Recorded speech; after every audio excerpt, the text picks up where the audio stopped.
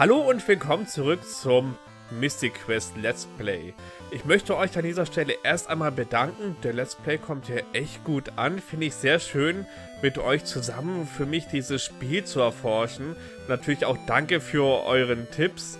Äh, jetzt auch mit der 8 und mit der Medusa. Ich hoffe, ich krieg's einigermaßen hin. Ähm, Ihr habt ja schon gemeint, dass es eines der schwereren Level, äh, Rätsel ist. Level. Rätsel ist. Ich hoffe mal nicht. Oh, jetzt habe ich falschen Knopf gedrückt. Ich habe allerdings, muss ich zugeben, dieses Mal habe ich mich jetzt etwas, etwas vorbereitet.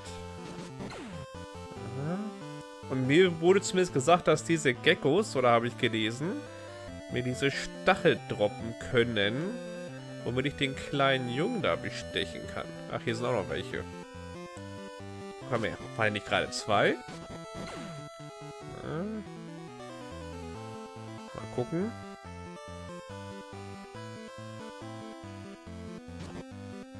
Ja, diese ist hier nicht. Also anscheinend diese Geckos. Ah, ich glaube, man muss ja immer zwei Bildschirme weg, ne? Damit die wieder respawnen. Ja, mal gucken. Hm. Oder auch nicht. auf jeden Fall meintet ihr ja auf jeden Fall, dass ich eine 8 laufen müsste. Das ist auf jeden Fall schon mal ein sehr guter Tipp. Ich hoffe, ich komme drauf, wenn ich, wenn ich die Stelle sehe, wo ich das auch anwenden muss. Wie habt ihr das eigentlich damals mitbekommen? Habt ihr irgendwie äh, Club Nintendo Magazin gelesen und da einen Tipp bekommen? Bei der heutigen Zeit ist das ja voll einfach. Man guckt kurz im Internet nach Komplettlösung. Bam, zack. Schon hat man die Lösung, ne? Aber damals höchstens vielleicht noch auf dem Schulhof, ne? Da hat man sich mal ausgetauscht. Aber sonst kann ich mich nicht, äh, nicht erinnern. Ah, das sind normal Geckos. Ist jetzt wieder nur einer da. Seltsam. Wo man sich so Tipps austauschen konnte. Außer man hat diese schweineteure Nintendo Hilfe Hotline angerufen. Hat das irgendwer von euch gemacht? Also ich, ich habe es nie gemacht, weil irgendwie wurde von meinen Eltern immer eingeimpft, das ist viel zu teuer und das macht man nicht. Wobei es natürlich damals echt genial gewesen wäre teilweise, ne? Hm. Seltsam. Aber mit euren Achter-Tipp komme ich auf jeden Fall auch ohne weiter. Denn ich muss zu irgendeiner Oase. Und da muss ich dann halt die 8 laufen.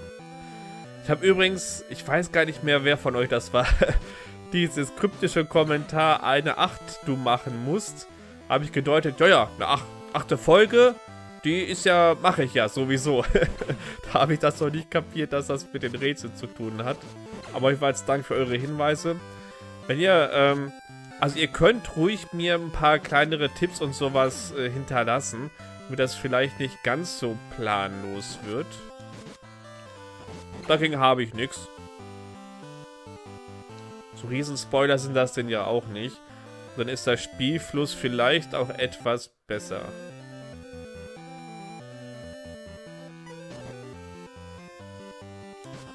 Also ich muss jetzt irgendeine Oase suchen, das weiß ich auf jeden Fall. Mit Bäumen, wo ich eine 8 laufen kann. Hier war ich schon. Hier dieser Stachel, da droppt ganz schön selten, kann das sein? Na komm her, du Gecko. Und warum sollen diese Geckos hier das droppen und nicht die, naja, diese, ne, die Skorpione hier. Ah, Level up, sehr schön. So, was mache ich als nächstes? Ich glaube Reife, das habe ich so gut wie gar nicht. Übrigens, ich nehme ja das Let's Play immer äh, sonntags auf und äh, im Normalfall bereite ich jetzt auch immer nicht so viel vor, sondern spiele das wirklich immer erst den Sonntag, bevor das jetzt Dienstag erscheint. Deswegen, wenn ich das veröffentlicht habe, das Video, könnt ihr mir gerne Tipps geben. Das nehme ich dann auch bei dem Spielen dann auf. Leer. Oh, schade. Ich dachte, da wäre jetzt noch Stachel drin. Ha. Seltsam. Naja, suchen wir mal etwas weiter. Komm her. Aber soweit ich weiß, soll dieser Junge ja einen eh nur den Tipp mit der 8 geben. Hm. Ist das hier schon die Oase? Muss ich hier eine 8 drum rumlaufen?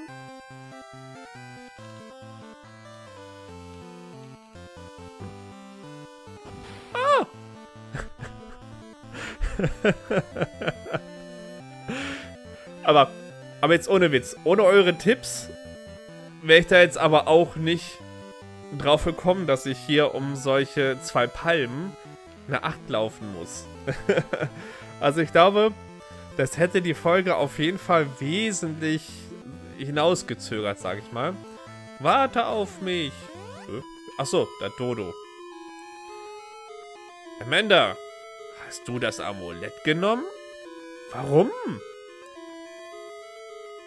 Ich, ich, ich musste es Davias geben. Mit dem Amulett wollte ich meinen Bruder auslösen. Ja, macht Sinn. Ach, das ist die Amanda, gar nicht dieser verzauberte Vogel, sondern bestimmt der mit der Harfe. Übrigens auch danke für den Hinweis, dass die Musik in der Stadt absichtlich weggenommen wurde. Ich habe mir sowas schon gedacht, aber es ist natürlich auch so ein echt guter Kniff der Entwickler, um da nochmal so ein bisschen mehr Atmosphäre reinzubringen. Ne? Einfach mal was wegzunehmen. Ich kann euch leider, ich habe mir leider die Namen der Kommentare nicht gemerkt von euch, aber danke, dass ihr auf jeden Fall mal so fleißig mitkommentiert. Aber Davias brach sein Wort und Lester blieb Papagei. Ja, das haben hab Detektiv Panda ja schon herausgefunden. So, so ganz blöd bin ich ja auch nicht. Als Bannbrecher benötige ich eine Träne der Medusa. Amanda, ich werde dir helfen. Danke. okay, gut. Mal schauen. Was ist das denn? Schlangen. Ja, okay. Macht, macht Sinn. Das macht wirklich Sinn. Ne? Trüb. Da meint ihr einer von... Ja. Boah, die hauen ja ganz schön rein. Da meinte einer hier... Kann ja einfach wechseln. Anscheinend doch nicht. Boah, diese schwarzen Linien, das mag ich ja gar nicht. Oder was das sein soll. Die umgehe ich mal elegant. Mumien. Äh, natürlich nicht normal tötbar. Da kommt hier du, du Schlange. Oder Echse.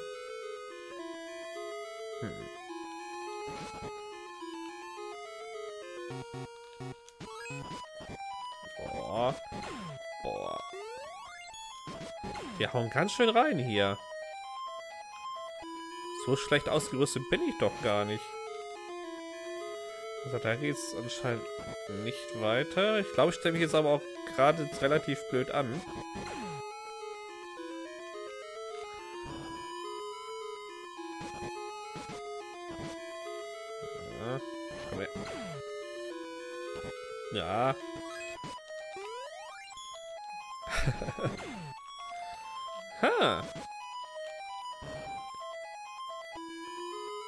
Würde sagen, ist nicht so unbedingt mein Dungeon hier. Boah.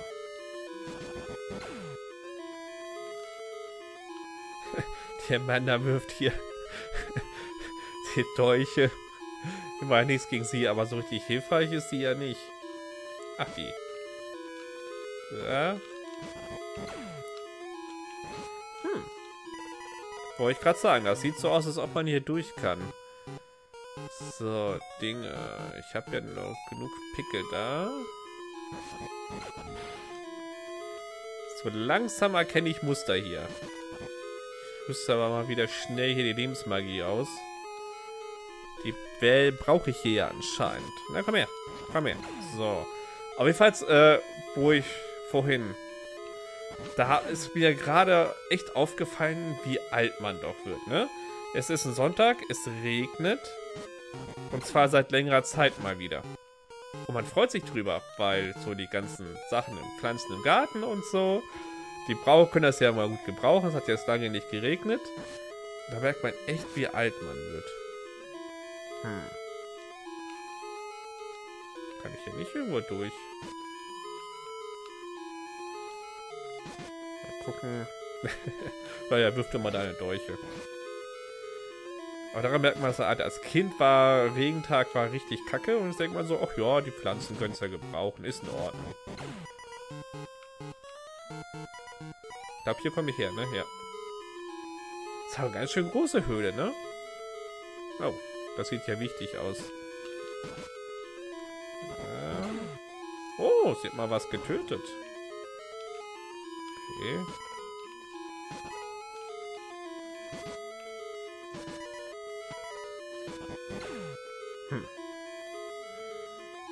Komme ich an den beiden vorbei? Ich will jetzt meine Magie jetzt nicht für irgendwelche Flammenzauber verschwenden. Weil ich denke mal, die Lebenszauber kann ich hier dringender gebrauchen. Aber so langsam groove ich mich ein, würde ich sagen.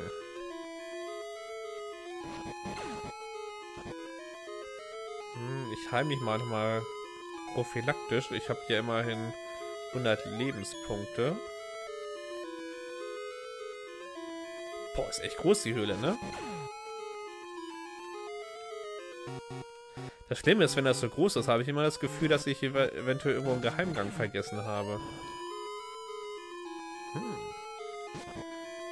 Also bisher glaube ich auch nicht, dass ich im Kreis laufe, oder? Nee, also hier war ich definitiv noch nicht. Ja. Obwohl war ich hier schon mal nie. Komm her. Verschlossen, ja. Da habe ich ja zum Glück Schlüssel. Die Fehler vom Anfang mache ich ja nicht nochmal. Was geht hier? Okay, hier ist so eine Stange zum Ranziehen. Hier muss ich irgendein Rätsel lösen. Öffnet sich nicht. Muss ich mich bestimmt da... Da werde ich jetzt aber mal die Feuermagie anwenden. Aber hier scheint ein Rätsel zu sein. Ah, Pickel gefunden. Sehr schön. Ach, muss ich das hier ein bisschen wegsensen? Ach nee, das ist ja zufällig, dass ich die Dinger finde. Ich bin da zu sehr in diesen modernen Spielen drin. So nach Motto, in den Raum, wo du irgendwas findest, wirst du es auch brauchen.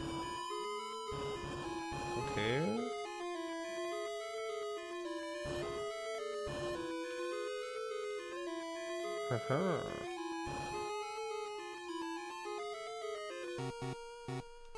Wenn ich jetzt rüberschwinge, na, dann könnte sie eventuell aufbleiben.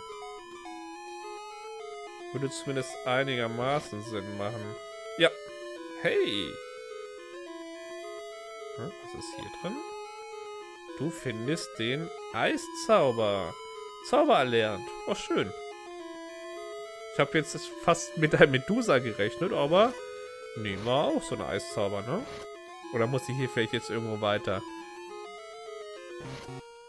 Immer hier alles abchecken. Einer von euch meint hier immer, das sind die normalen Richtungen nur. Und wie gesagt, über solche Tipps bin ich immer sehr, sehr dankbar auf jeden Fall. Nehme hier das Silberschwert. Das ist doch besser. Da hat er, hat der Walter Wind, meine ich, hat das ja gesagt, dass das Silberschwert seine Lieblingswaffe ist. Hat er schon recht, ne? Das ist schon cool. Vor allem hier so schön mit dem Schwert irgendwo durchzusensen. Das ist doch noch ein ganz anderes Gefühl.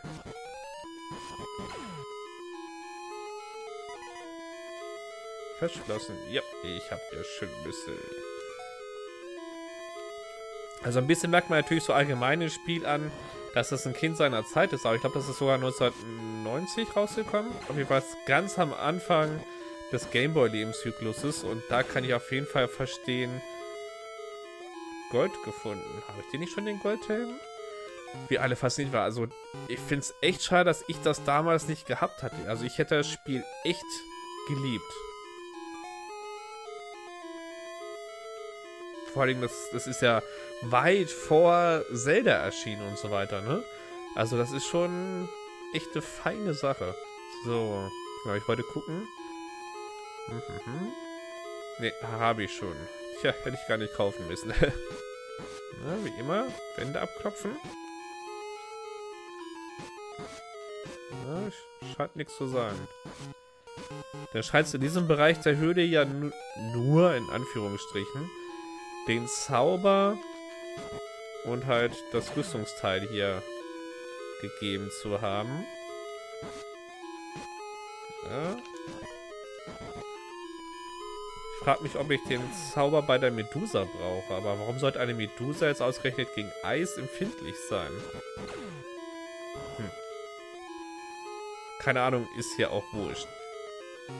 Ah, hier war ich definitiv noch nicht.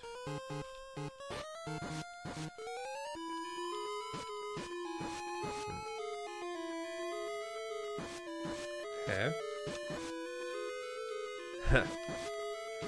Aha, vielleicht muss ich hier einen Eiszauber? Dass ich hier das, das Wasser quasi gefriere? Nee. Hätte ja sein können. Ah, cool, die kann ich ja so lenken. das ist ja mal lässig.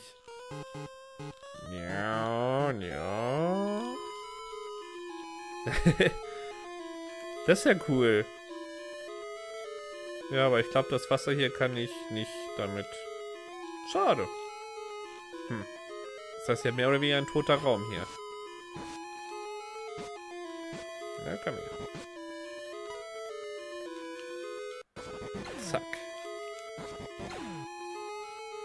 Du, du, du, du, du. Das ist auch so typische, typische 8-Bit-Dungeon-Musik, oder? Könnte fast so eins zu eins in Zelda vorkommen. So, Medusa, wo bist du? Wo bist du? Kannst du noch mittragen? Wieso? Hm. Aha. Hab mir schon gedacht, dass da wahrscheinlich nicht umsonst die Dinger da sind. So, und jetzt habe ich ja den Slot aufgebaut. Mal gucken, was drin ist. Kugel des Schlafs gefunden. Jo, passt. So.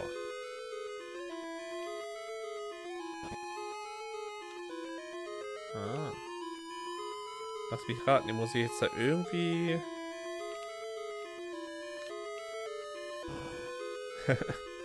also, solche Rätsel sind natürlich wirklich jetzt einfach, ne?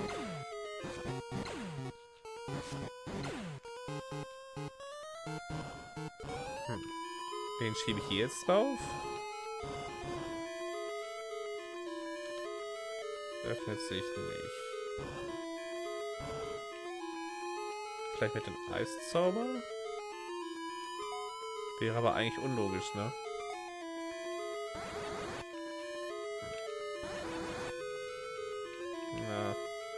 Oh, es donnert gerade draußen. Ich hoffe, ihr hört das nicht.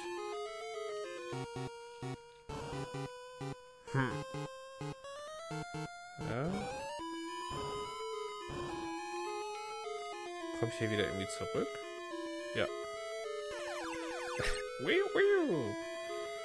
Kann ich den dann mitnehmen? Ja, eigentlich ja nicht, ne?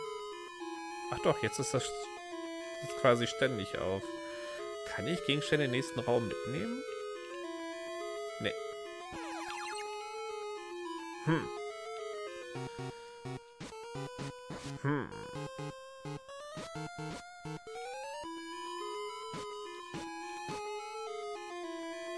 Wie kommen wir hier jetzt lang?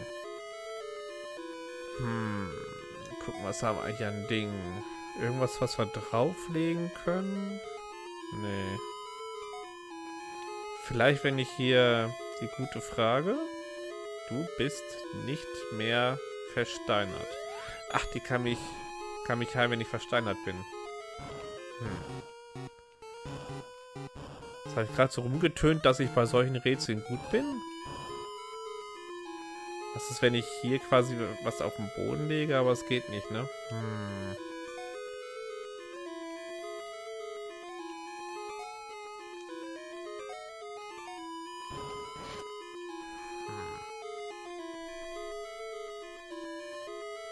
echt seltsam.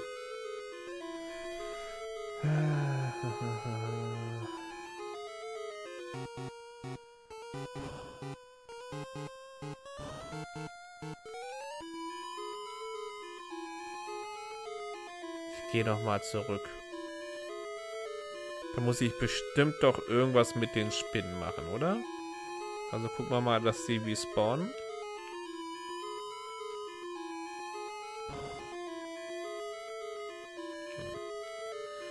Dann gehe ich nochmal zwei Felder zurück. Weil ich muss doch bestimmt irgendwas machen. Weil ich will mal was testen. Ja. Gute alter Zelda-Manie, das, was du erlernt hast, muss man dann auch nutzen. Boah, ist ja... Wieso ist denn das da wieder zu jetzt? Naja. Dann ist das ja zumindest alles resettet.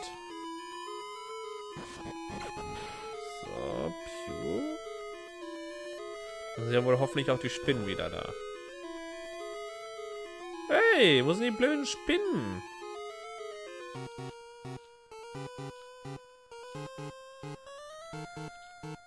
Äh, überall respawnen die Gegner, nur da nicht, oder was? Gehe ich jetzt mal etwas weiter weg. Aber erstmal hier wieder vernünftige Waffe hier ausrüsten. Oh, habe ich hier nicht getroffen? so süß, wie sie mit ihren Dolch wirft. Ich helfe! Ich helfe!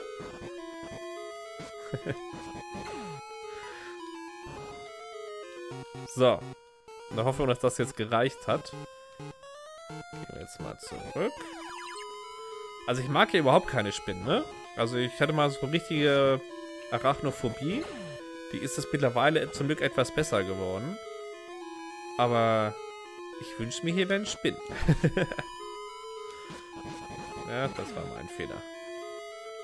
So. Dann wieder aufhacken. Jetzt sag bloß, ich habe keine Hacken mehr. Nee, ne? Och, Leute. Wieso habe ich denn keine Hacken mehr? Ich hatte doch so viele. Och, Mist. Nicht cool. Nicht cool. Sag bloß, jetzt muss ich hier wieder stundenlang grinden, bis ich irgendwelche Hacken kriege. Aber raus aus dem Dungeon komme ich wahrscheinlich wieder nicht, ne? Ah, Mist. Das ist natürlich echt Mist. Ich hatte doch immer so viele.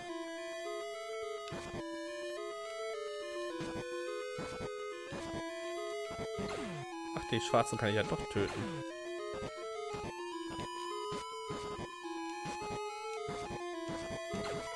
Bitte Hacke. Bitte lass deine Hacke drin sein. Bestimmt irgendein Mist drin. Ja, diese Schlafkugel, die brauche ich irgendwie nicht. Magietrank gefunden. Was fehlt hier mit einem Magietrank? Oh, das ist doch Mist.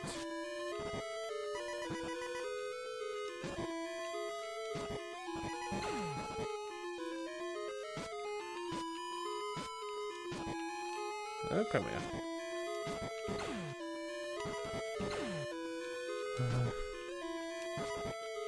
Sorry, Leute. das ist jetzt wieder eine Verzögerung hier.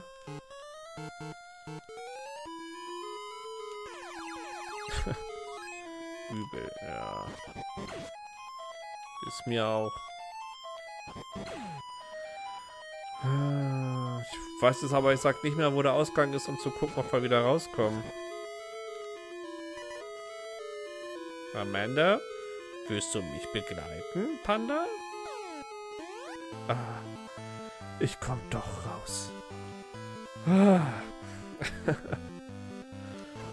ich dachte schon, ich sitze jetzt fest. Sorry, Leute, müssen wir jetzt gerade einen kleinen Umweg machen.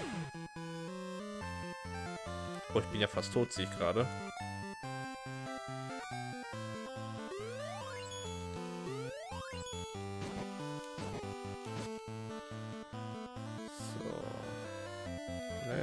es nicht lang. Naja, doch. Hier sieht alles so gleich aus, Fels. Oh nein, nein, nein, nein, nein, nein, nein, nein, nein, nein, komm. Ach, machen immer nichts. Ach, schlagen kann ich ihn trotzdem mal als Fels. Gibt's schlagende ne Felsen? Keine Ahnung.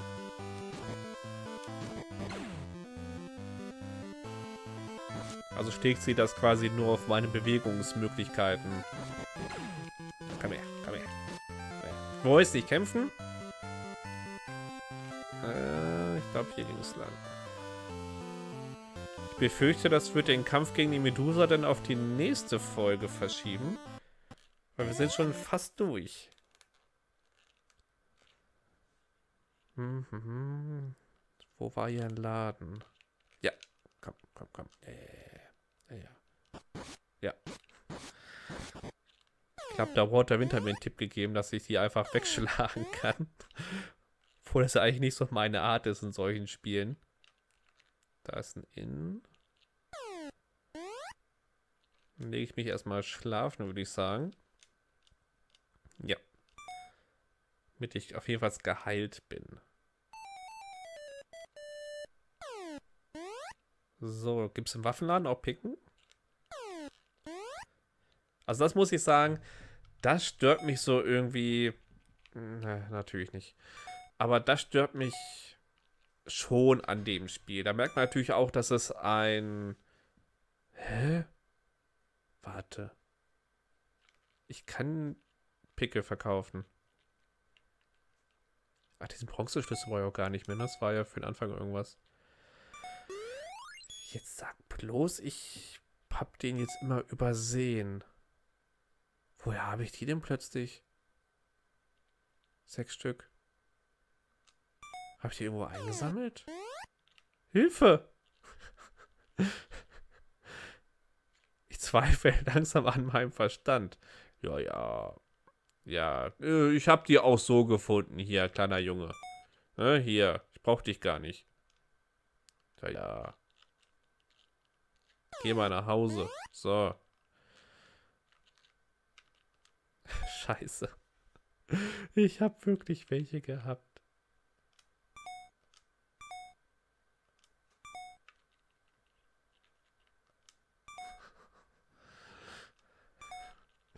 Mist. Das ist jetzt echt peinlich. Ihr könnt auch euch gerne in den Kommentaren lustig über mich machen. Ich stehe dazu. Hier, Silberschild, das bräuchte auch nicht mehr. Lieber nochmal einmal die Pickel kaufen. Dann kann ich noch mehr dran. Okay. Gut. dann gehen wir nochmal zur Höhle. Und dann... Ja komm, das Rätsel löse ich noch. So ein bisschen länger machen wir noch. Ja, ja, komm, komm, komm, komm. Und dann verschieben wir den Kampf gegen die Medusa. Verschieben wir dann auf die nächste Folge. Tut mir leid, ich wollte heute äh, diese Folge eigentlich abschließen. Aber meine Trotteligkeit steht dem im Wege. Aber Fehler zu haben ist nicht schlimm. Man muss nur dazu stehen sage ich immer. Fehler macht jeder. Nimmst du deinen Dodo mit? Ja, aber du willst gleich eh nicht mit.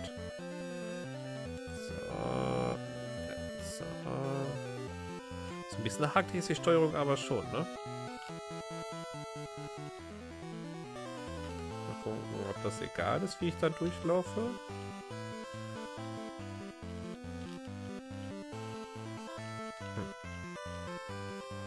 Da haben wir es. Ich dachte schon.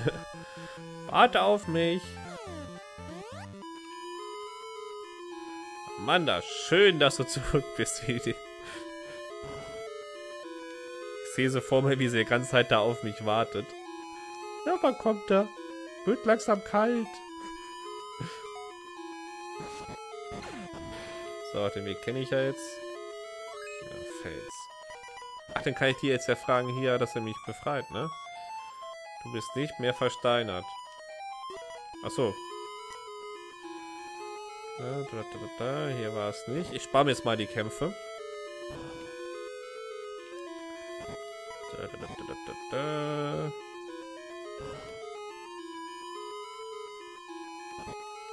So. Piu, piu. Oh nein, da ist ein Geheimgang. Damit habe ich ja niemals gerechnet. So, Eis. Spinnen sind da. So.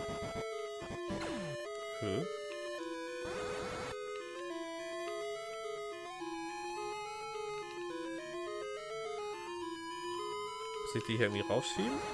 So. So. Ja, ich will auch gar nicht mehr tragen. Ich will da nur durch. Oh. Dann muss ich wahrscheinlich jetzt erst eine Sache ablegen. Oh, komm, hier Salbe.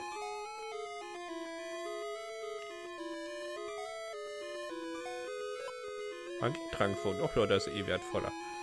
So, dann geht's hier bestimmt zur Medusa runter. Wir haben aber die halbe Stundenmarke erreicht.